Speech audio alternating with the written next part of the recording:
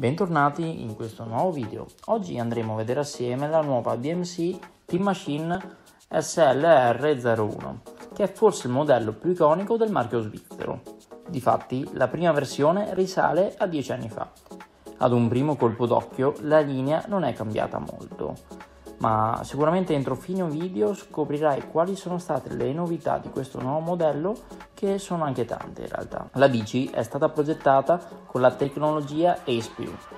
È un sistema che è già stato introdotto nel 2014 che consiste in un software di simulazione con il metodo degli elementi finite e permette di variare la laminazione del carbonio, cioè con forme dei tubi, con le geometrie e in tutto quello che ci sta dietro. Come i modelli che abbiamo già visto in questo anno, sono stati fatti miglioramenti aerodinamici e sono stati nascosti tutti i cavi, proprio come tutte le bici che abbiamo visto in questo anno e sicuramente questo è il trend che sarà in un futuro sempre più prossimo, proprio anche come i freni. Anche su questo modello di BMC SLR01 la possiamo trovare solo con freno disco, sempre per riaffermare il trend del mercato. Sicuramente in futuro vedremo solo bici con freno disco e le case costruttrici ce lo stanno confermando in questo momento. Nel telaio possiamo vedere come sono stati revisionati tutti i tubi dalla zona sterzo, dal tubo obliquo e dalla forcella. La forcella è la parte del telaio che è cambiata di più.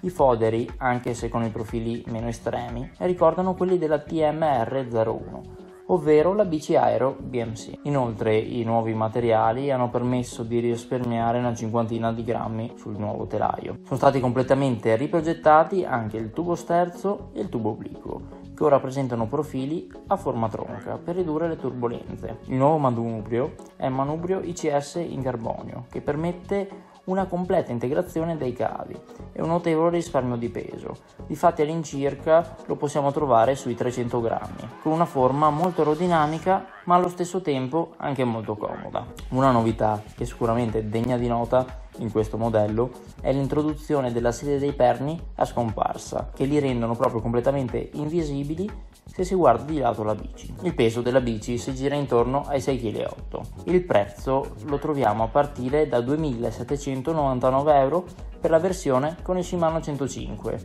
per arrivare a 10.999 euro per la versione top di gamma. Se questo video ti è piaciuto lascia un like e iscriviti al canale per vederne dei prossimi. Qui in mezzo troverai l'iconcina per iscriverti al canale e troverai la playlist che si chiama Biciclette, dove potrai vedere dei video di questo genere. E io ti saluto e ci vediamo alla prossima.